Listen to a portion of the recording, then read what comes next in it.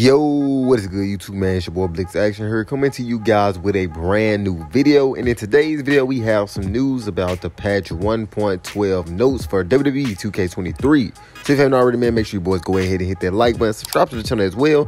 Now let's go ahead and get straight into the video. So first thing first, patch 1.12 is set to be released tomorrow, which is on a Tuesday, which is on a June 13th.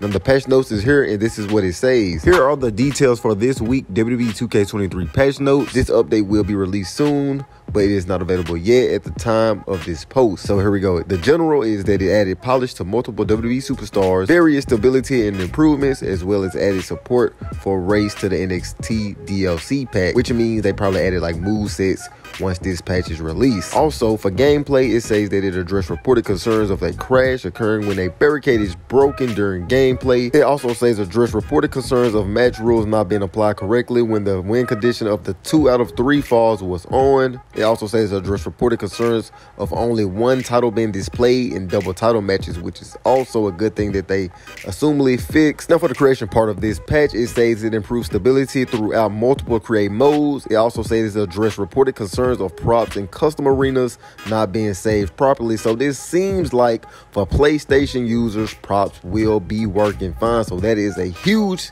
update and a huge good thing for this patch 1.12. Now for Universe, it says general com compatibility and stability bugs fixes. For my GM, it says address reported concerns of the moral and stamina of keepers, stars not resting at the end of a season. For my faction, it says general bug fixes. And for the audio, it says it addressed reported concerns of the NXT UK's Women's Championship being announced incorrectly. Now, looking at the patch notes, it looks like we will not be getting any new superstars added into the game. But on the bright side, PlayStation users should, should be excited because props now work. And now you can play all those good matches that Marty M over there on Twitter made, such as the Buried Alive matches, the dumpster matches, basically all the matches that use the props.